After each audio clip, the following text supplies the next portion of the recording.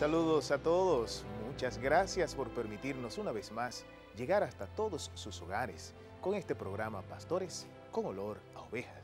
Hoy como siempre queremos compartir con ustedes un programa muy interesante. Hoy hablaremos de las virtudes teologales. Hoy hablaremos de la fe. Bienvenidos a Pastores con olor a ovejas.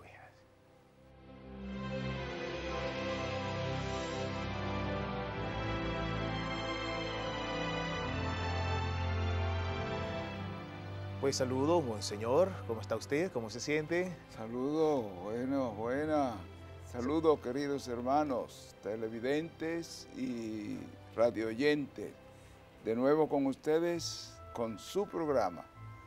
Pues, monseñor y amigos que nos siguen, vamos a compartir, como ya hemos hecho una costumbre, en el primer bloque de nuestro programa, el evangelio correspondiente a este domingo 10 de junio.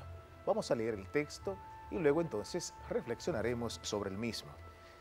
Del Santo Evangelio según San Marcos. En aquel tiempo Jesús fue a casa con sus discípulos y se juntó de nuevo tanta gente que no los dejaban ni comer. Al enterarse su familia, vinieron a llevárselo, porque decían que no estaba en sus cabales. También los escribas que habían bajado de Jerusalén decían, tiene dentro a Belzebud y expulsa a los demonios con el poder del jefe de los demonios. Él los invitó a acercarse y les puso estas parábolas. ¿Cómo va a echar Satanás a Satanás? Un reino en guerra civil no puede subsistir. Una familia dividida no puede subsistir. Si Satanás se revela contra sí mismo para hacerse la guerra, no puede subsistir, está perdido. Nadie puede meterse en casa de un hombre forzudo para arramblar con su ajuar si primero no lo ata. Entonces podrá arramblar con la casa.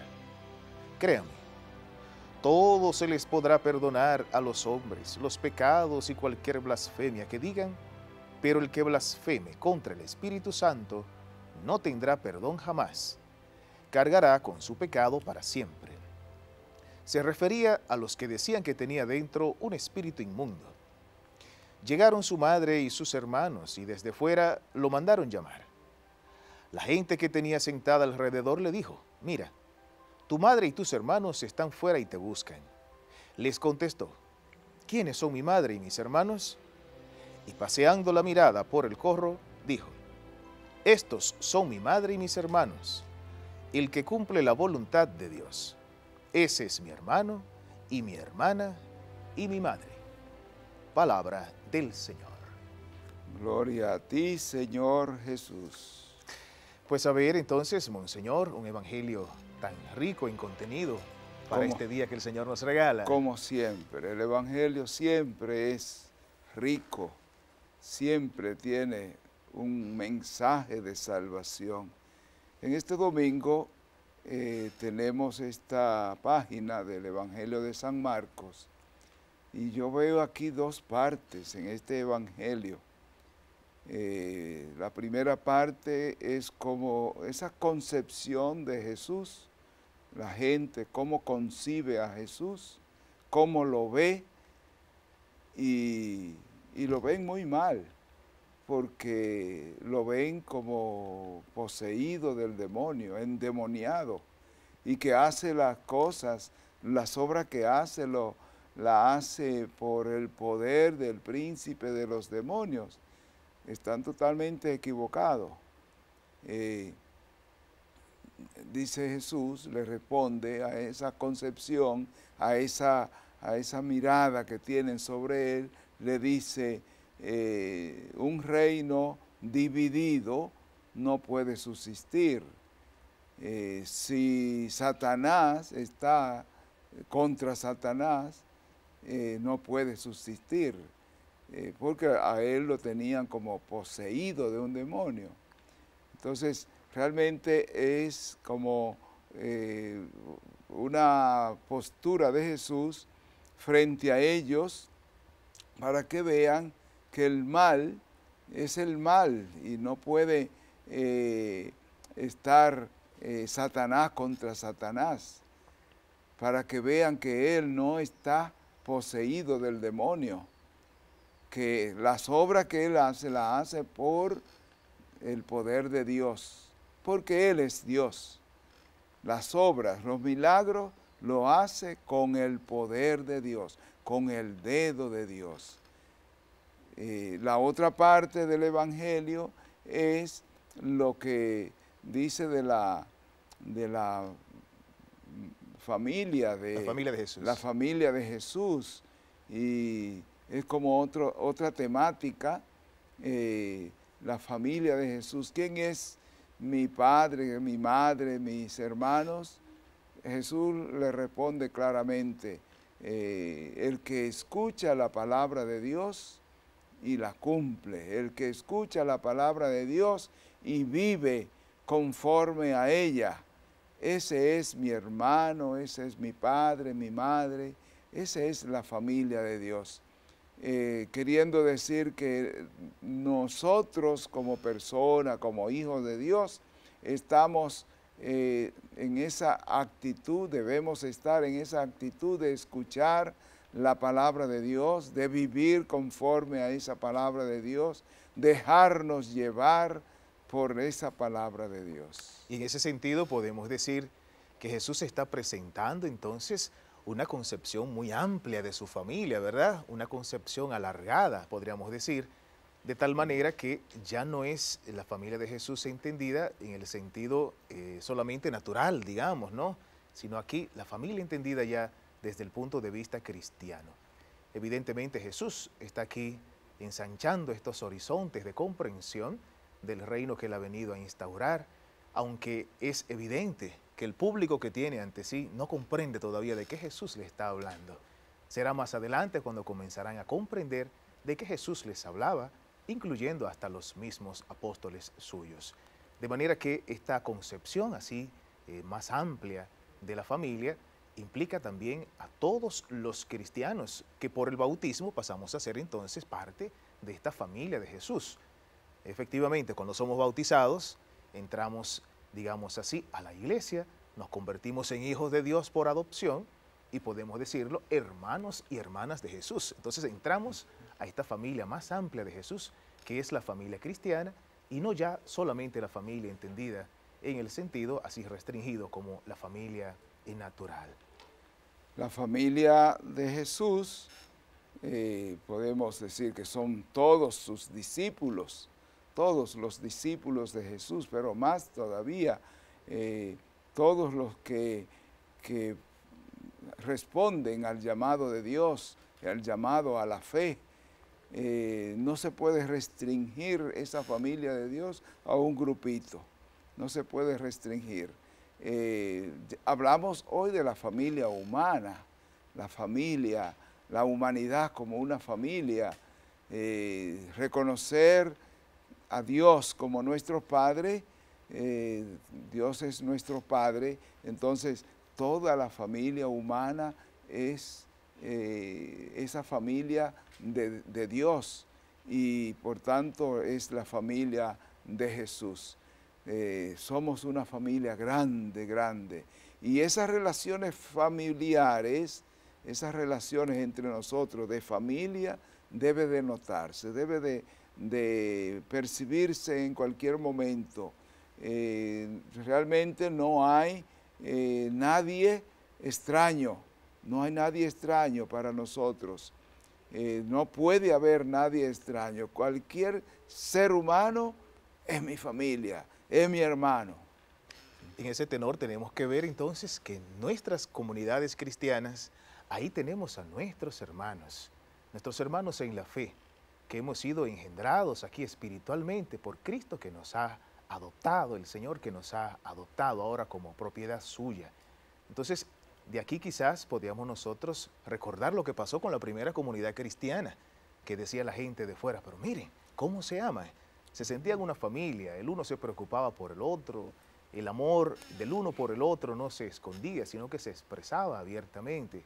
Y cada uno pues era capaz de eh, preocuparse por lo que le pasaba al otro y tratar de ayudarle a que su vida fuese, digamos, más digna, que fuera alegre, que tuviese sus necesidades eh, básicas resueltas y sobre todo en el plano espiritual siempre estaban muy cercanos uno de otro. Entonces quizás el ideal sería que nuestros tiempos actuales nos inspiremos nosotros en este ejemplo de esta primera familia cristiana, la familia de Jesús, de la cual nosotros también somos parte, repetimos, por el bautismo que hemos recibido y porque somos parte de la iglesia. El ideal de esa familia es que esté bien unida, bien integrada. La familia de Jesús, los discípulos, la iglesia, la humanidad.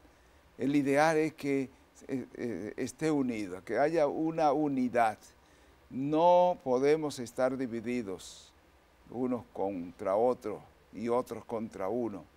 Eh, la familia de Dios debe de estar unida, debe de tener esos vínculos de unidad, vínculos de amor, vínculos de armonía eh, para ser una familia. Y eso es, vale, eso es válido para, para todo, es válido para la familia pequeña, los padres con sus hijos, eh, pero también es válido para los grupos, para las comunidades, es válido para todo. En los países, eh, un país debe de cultivar esa unidad, debe de cultivar esa hermandad entre sus miembros para que sea verdaderamente una familia, familia de Dios. Vamos a hacer nuestro entonces este llamado, esta invitación que Jesús nos hace hoy a sentirnos parte de su familia, a sentirnos familia de Jesús real y efectivamente porque lo somos. Continúen con nosotros que en breve regresamos con Pastores como olor oveja.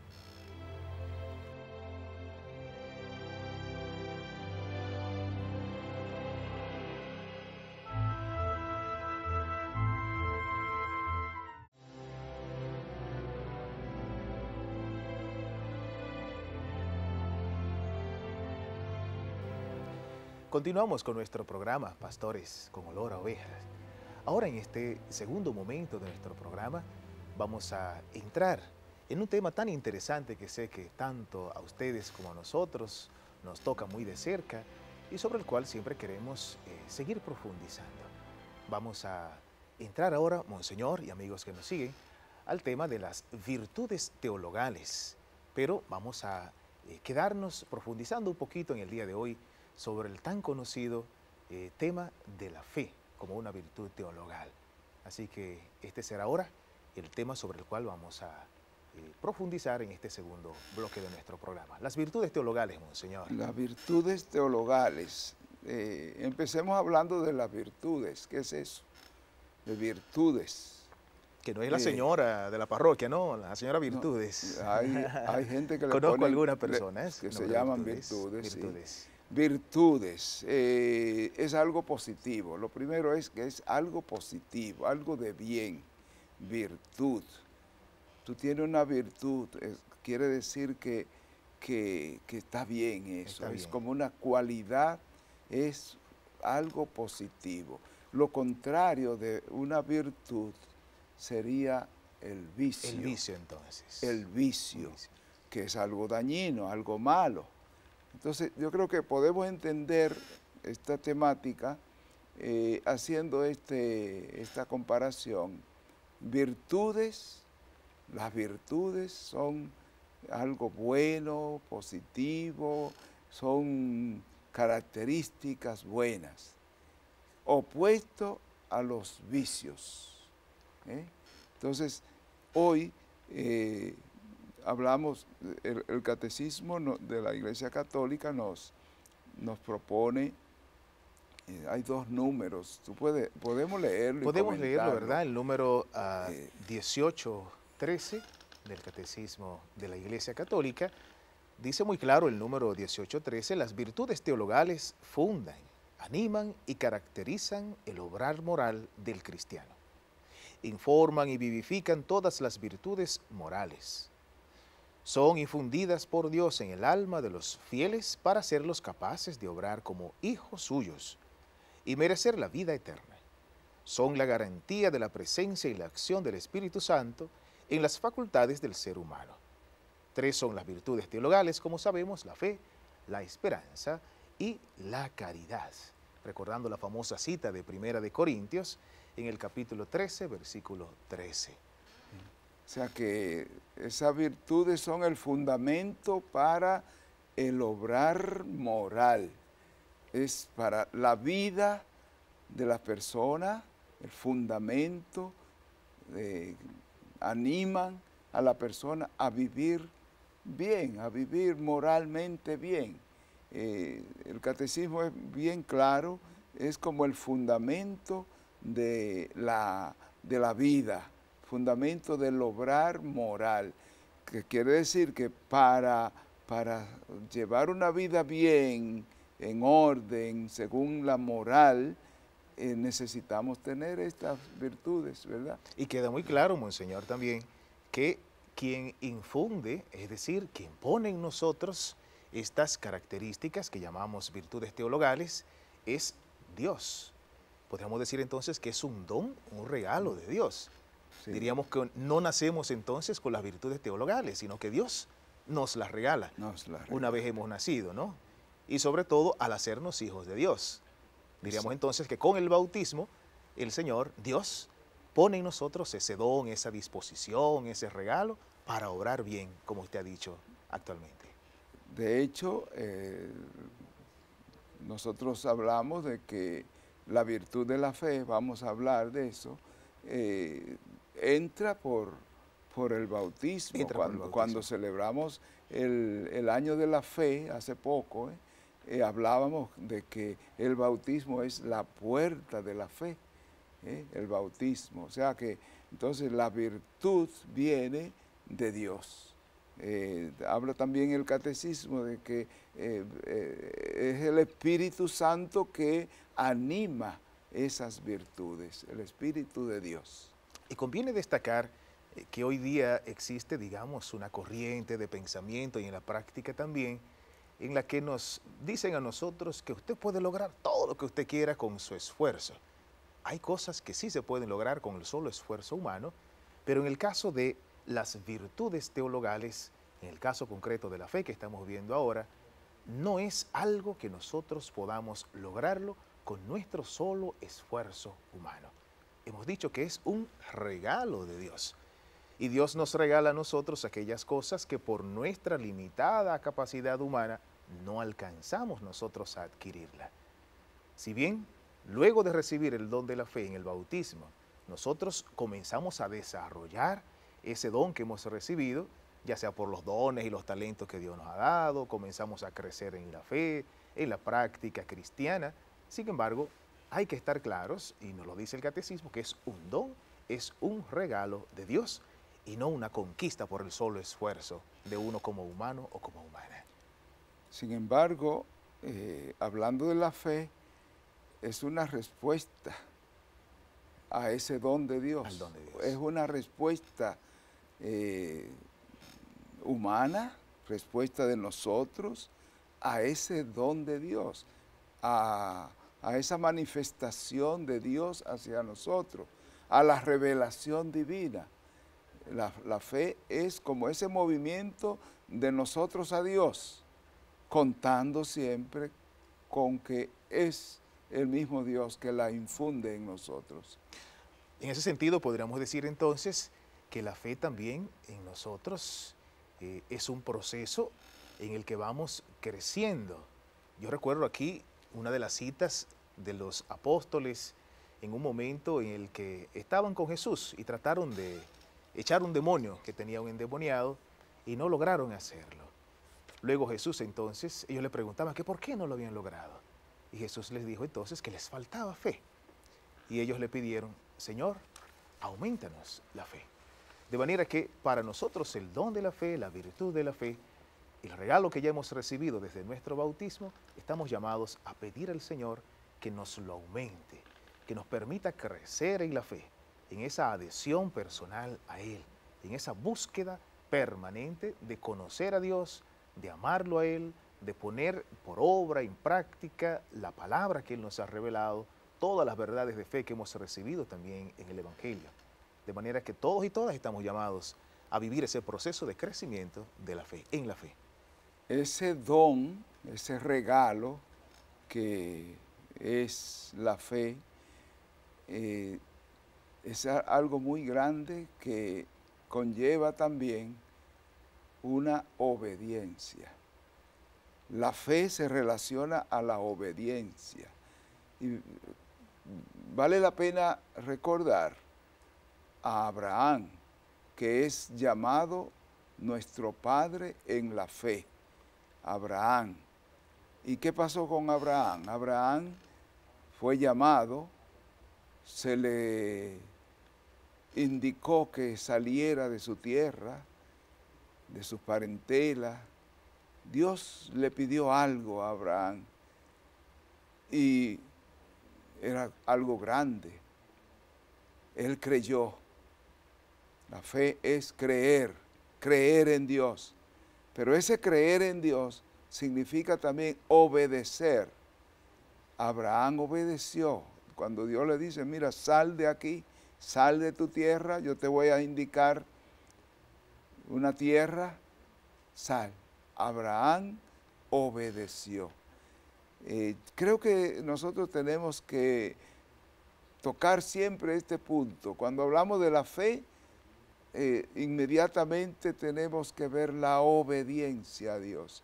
Dios nos regala su vida, Dios nos regala su amor, pero nosotros tenemos que obedecer a Dios.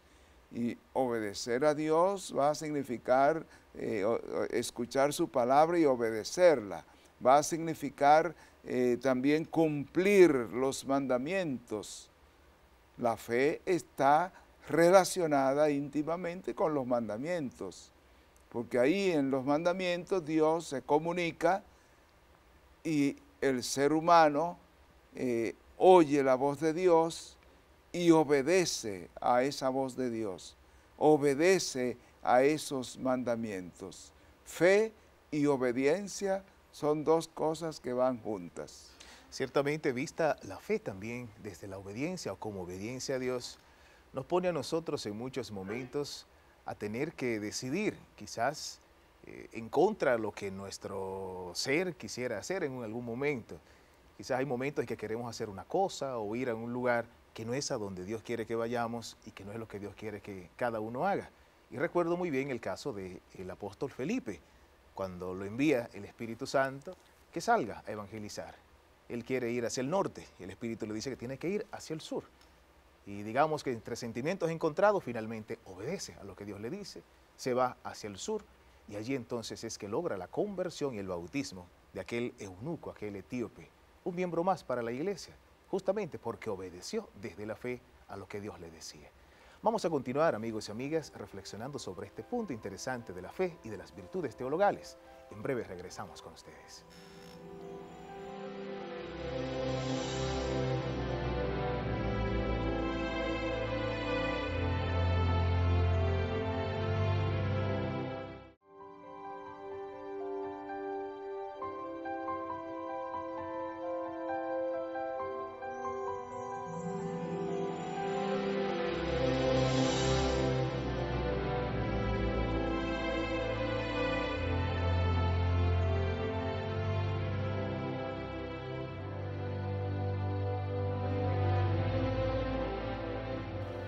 Continuamos con todos ustedes. Estamos conversando sobre las virtudes teologales, fundamentalmente la virtud teologal de la fe.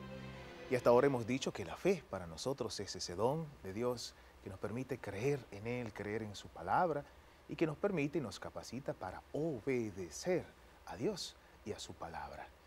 Y yo creo que en esto, eh, Monseñor, amigos que nos siguen, hay también ciertas situaciones del ser humano en las que nos encontramos, eh, quizás ante experiencias que nos apartan de Dios, que en algún momento como que se siente apagar la fe, y hasta otros que llegan al extremo de decir, he perdido mi fe. ¿Qué podríamos nosotros, eh, Monseñor, sobre esto? Es, es como, si, como si Dios retirara Como si Dios retirara la llamada, la gracia, Como si Dios se apartara y, bueno, lo dejara solo. Y no es así. Dios no se retira los que nos retiramos somos nosotros. Los que abandonamos somos nosotros. Muchas veces buscando intereses, buscando bienestar material, buscando placeres, abandonamos la fe, abandonamos a Dios. Eh, pero Dios no nos abandona a nosotros. Eh, por eso tenemos que estar bien convencidos de que Dios es amor, que Dios nos ama siempre, que Dios siempre está de nuestra parte eh, para seguirlo y para nosotros responder, responder a ese amor de Dios. Porque eso es la fe, como decíamos al comienzo, es respuesta a Dios, respuesta a todo lo que Dios hace por nosotros. Esto quiere decir también que esa fe tiene que ver con toda nuestra vida, que hay una unión, tiene que haber una unión entre fe y vida. No puede haber divorcio entre fe y vida.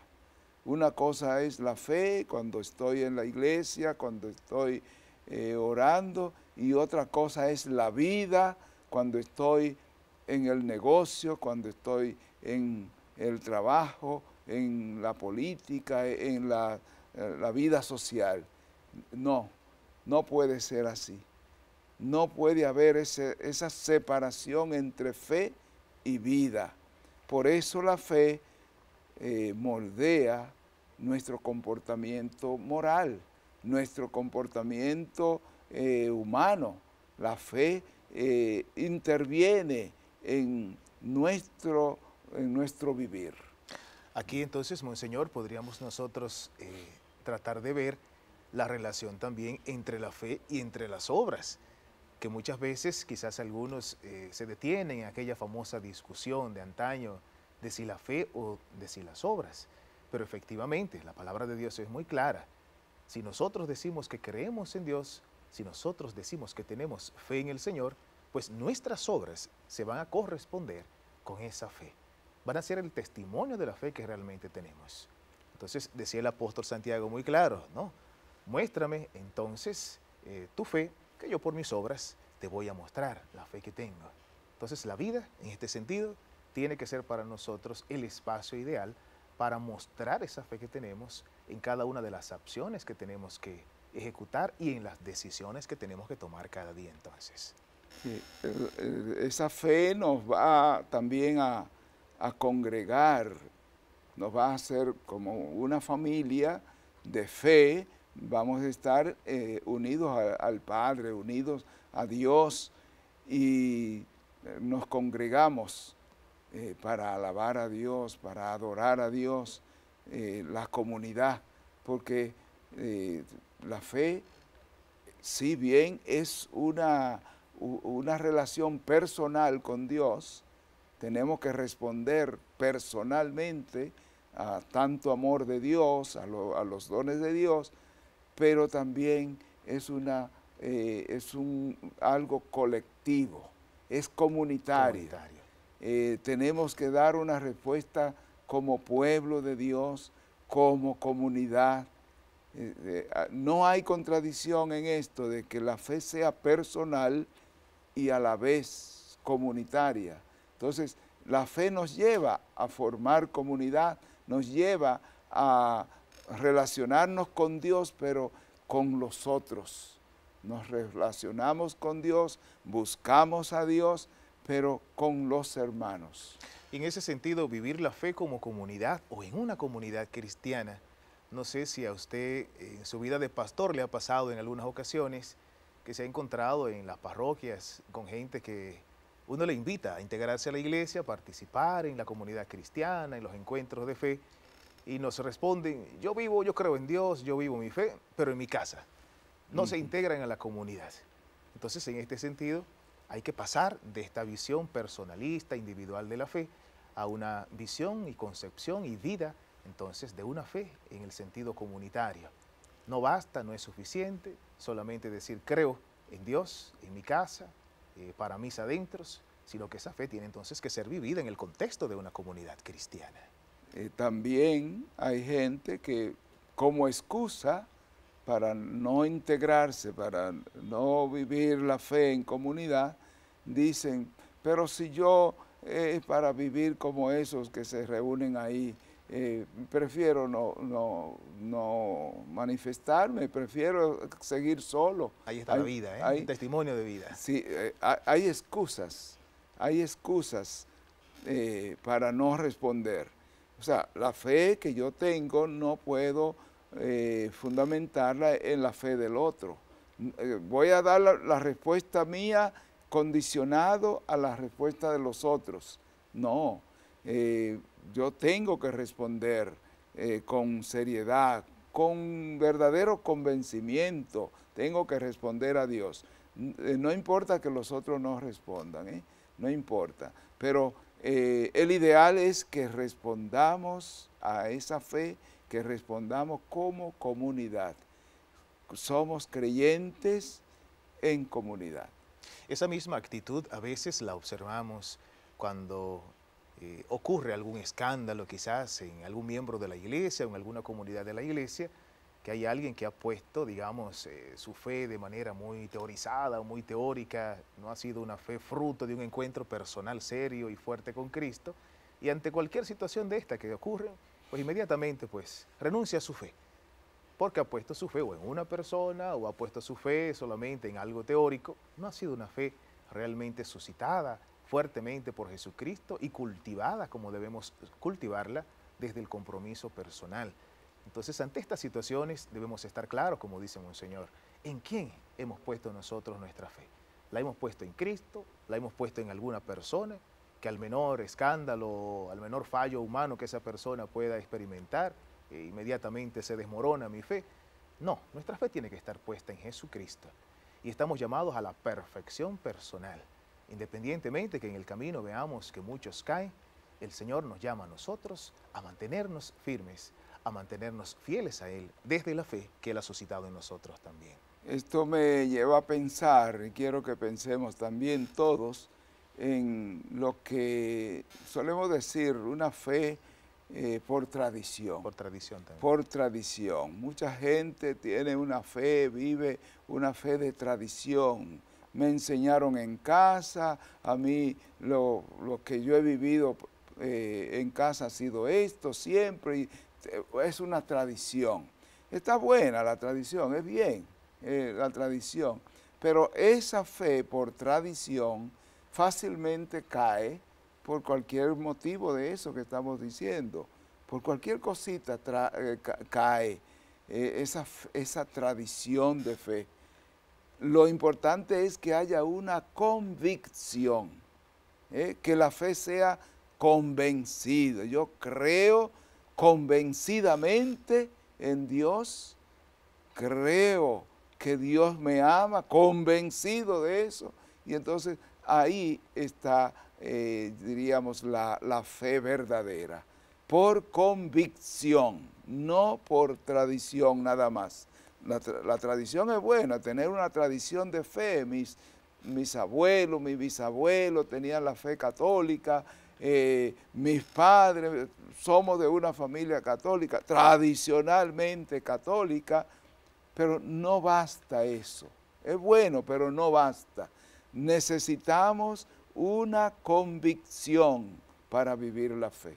Y en ese sentido, cuando nosotros llegamos al nivel de una fe por convicción, es decir, una fe convencida de lo que creo, una fe convencida de lo que hago, entonces seremos capaces de dar razón de esa fe que nosotros profesamos, porque no podemos quedarnos solamente en la vivencia de una fe, digamos, eh, en el plano espiritual o espiritualista, eh, una fe sin ningún compromiso hacia afuera. O una fe individualista. O una fe individualista, exactamente, sino que hay que pasar también a este plano de aprender a proponer también nuestra fe de manera racional, con argumentos, porque estamos convencidos de eso que creemos y en Cristo en que nosotros creemos. Así que interesante toda esta parte del punto fundamental de la fe como virtud teologal. Vamos a vivir este compromiso de fe, vamos a asumirlo con responsabilidad, vamos a vivirla dentro de una comunidad de manera convencida. Vamos a continuar con nuestro programa. En breve regresamos con todos ustedes.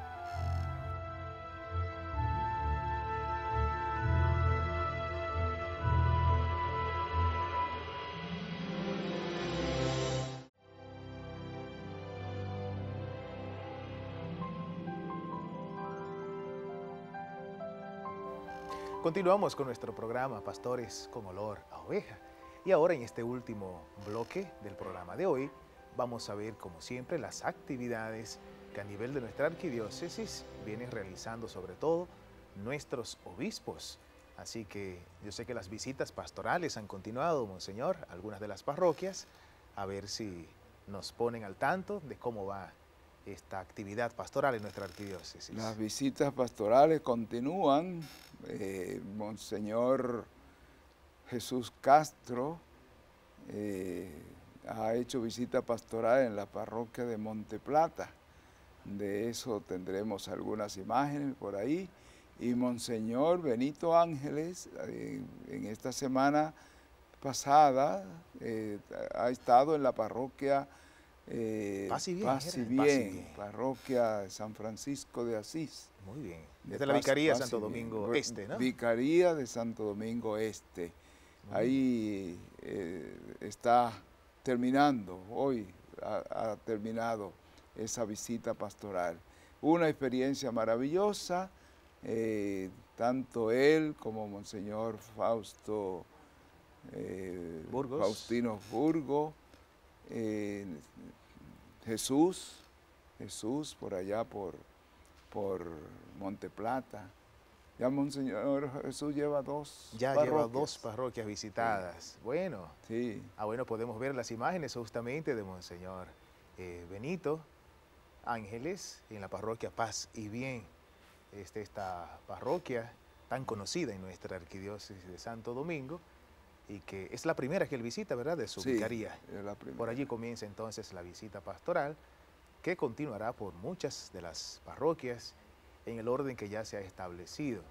Y qué interesante ver cómo la, la comunidad se integra y cómo participa de estas visitas pastorales, porque usted y sus obispos auxiliares no solamente van al templo parroquial y celebran una Eucaristía con la comunidad, sino que han salido a encontrar a la gente, y confirmaciones. Y confirmaciones que siempre las hacen. Claro que esas son visitas pastorales. También. Son visitas del pastor. Son visitas del pastor. Pero la visita pastoral, canónicamente hablando, eh, conlleva una serie de actividades, conlleva eh, un acercamiento a toda la comunidad, incluyendo los que no van al templo, eso eh, porque de eso se trata, los que no van al templo, porque los que van al templo eh, eso sí, con una misa que uno vaya, ya, está bien. Pero hay eh, gente, hay, la mayoría no, no, van al templo, entonces hay que ir donde hay ellos. que encontrarlos. Y eso es lo que queremos. Qué bueno. Así que en el, todo el sentido de la palabra es una visita pastoral, ampliamente entendido. El concepto de pastoreo, el pastor que encuentra las ovejas, que va a encontrar las ovejas, que la busca y que quiere conocerlas a las que no conoce todavía. Pues conocer a las ovejas y conocer su entorno, sus circunstancias, donde vive, porque a, eso nos pide, eso nos lo pide el Señor, que conozcamos a las ovejas. Conozco a las mías y las mías me conocen a mí. Pero ese conocer es en un sentido amplio. de la palabra. Conocer la realidad de las ovejas. Bueno, pues vamos a seguir más adelante en los siguientes programas compartiendo con ustedes las incidencias de estas visitas pastorales de nuestro arzobispo y de los obispos auxiliares también en sus respectivas vicarías eh, territoriales episcopales. Hay también, Monseñor, una actividad que ya se está proyectando para nuestra arquidiócesis de Santo Domingo y que aunque será a final de este mes, pero ya todos los aprestos están casi a punto. Así que, ¿de qué se trata? Si em, em, Empezamos a, ya hemos hablado de eso y que sirva esto de, promoción, de invitación a este gran acontecimiento de nuestra arquidiócesis. Tendremos la ordenación sacerdotal de, de 10 Son 10 nuevos sacerdotes. 10 jóvenes Bueno. Hay algunos que no son tan jóvenes, pero... En espíritu pero son jóvenes. En espíritu ¿no? serán jóvenes. ah, bueno, Diez. tenemos acá la, Ahí la está imagen. la foto de los 10. Es un grupo muy Sí. interesante, ¿verdad? A ver, tenemos los nombres del grupo de los 10. Tenemos Antonio Pozo Piña, Juan Luis García Rojas, Juan Francisco Hilario Abad, Francesco Coñiñi, Juan Antonio Cabrera Rodríguez, Diego Alejandro Rosales, Moisés Pérez Villa, Milton Fernando Girón Plaza, Jean Diedon Guy, Feli- Félix Jonás Martínez Peralta, son 10. Y veo que es un grupo internacional, monseñor, porque un hay, grupo internacional. veo unos nombres acá que me huelen a internacionales. Por Sí, ejemplo, Porque parece italiano uno y el otro parece o francés o de Haití, ¿verdad? hay uno de Haití, eh, Jean Dieudonné. Yo lo pronuncio así, Eh, sí, está correcto, sí. eh, que es don de Dios. Don de Dios sería. Regalo de Dios. regalo de Dios. Eh, la- son diáconos que ya tienen una experiencia. Hay los que menos tienen de diáconos son tres que terminaron ahora el Bueno, pues curso. aquí, aquí está justamente la imagen de usted con el Ajá. grupo que se va a ordenar y también los obispos los auxiliares, obispos Monseñor auxiliares. Jesús Castro y Monseñor. Brisman. Pues eh, un grupo muy bonito, muy bueno. Eh, quería decir también que son de distintos seminarios, eh, del Seminario Redentoris Mater y del Seminario Santo Tomás de Aquino. O sea que hemos querido unir las ordenaciones. La, la razón es que somos una, una sola Una arquidiócesis sola arquidiócesis. una sola arquidiócesis. No podemos este, tener eh, ordenaciones así, cada, cada quien por su por lado. su lado, sí. Somos una arquidiócesis, una sola iglesia y eh, queremos expresar esa unidad como diócesis en este eh, acontecimiento tan importante como es la ordenación sacerdotal. Eh, nos alegramos y damos gracias a Dios por este gran acontecimiento y por esta cosecha. Yo creo que es un signo muy interesante a nivel vocacional, porque sabemos que hay mucha gente que ora por las vocaciones sacerdotales, mucha gente que ora para que lleguen nuevos sacerdotes y por la perseverancia de los que ya lo somos, los que ya estamos. Y también mucha gente, Monseñor, y amigos televidentes y amigos que nos siguen por la radio, mucha gente que colabora también por el sostenimiento de los seminarios, para que grupos como estos de sacerdotes, de jóvenes candidatos al sacerdote, al sacerdocio puedan llegar realmente hasta el ministerio y puedan entregar su vida al Señor al servicio de la comunidad cristiana. Por otra parte, Monseñor, ahí eh, recuerdo que usted pedía en programas pasados de si conocíamos de algunas parejas, de matrimonios que ya han pasado los 25 años o han celebrado los 50 años, para que vean que la gente ha estado muy atento y ya nos han notificado de Eso- algunas eso- parejas. Eso fue a propósito de que estábamos hablando de los Así. 25 años De sacerdocio, de, de Joselito, Correcto. los 50 de, de Gregorio, De Gregorio Alegría, Alegría. y de Martín, los 50 años de Nicanor, eh, por ahí vienen los 23 años de Monseñor Jesús Castro. También, bueno, hay mucho ¿eh? para celebrar, ¿no? Entonces, eh, quería también resaltar que hay parejas que perseveran en, la, en el amor, en el- la fidelidad. Por ejemplo, y como esa que tenemos en pantalla. Ahí ¿eh? tenemos Ahí una... Irma y Bartolo Bello Jiménez han celebrado 20 años Ajá. y son de la diócesis de San Pedro de Macorís, Monseñor. Ah, sí. De San Pedro nos ha llegado. Se colaron eso, porque era de, Eh, de 25 No para, han llegado a los arra- para 25, arriba. pero ya parece Eh, que se colaron, están era de sintiendo como que 25 llegaron, para ¿no? arriba. Tenemos otra pareja y agárrese que esté grande, Monseñor. Mire, Noris y Bienvenido Cena han cumplido, están celebrando 40 años de unión matrimonial. 40. Eh, ah, interesante. y tal vez van a tener una cena también. pues. Ah, bueno, muy ¿Eh? probablemente. Tenemos Sí. también a Hipólito e Ibelice Cayetano.